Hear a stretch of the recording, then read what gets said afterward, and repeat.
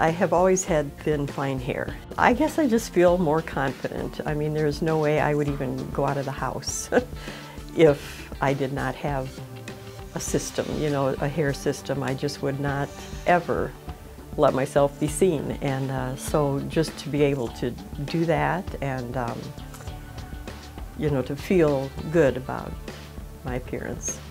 Service has always been excellent and all of the people are um, friendly, competent, um, just always a good experience when I come in. They work very hard to make sure that you're happy and um, right now I'm actually getting a new system and I've been back probably five times so far to get it thinned and cut. We're working on getting it to where I'm comfortable in it and I feel like I'm bugging them every time I come, but they never make me feel that way. They let me know that whatever I need, they're here for me. So that's a nice relationship to have.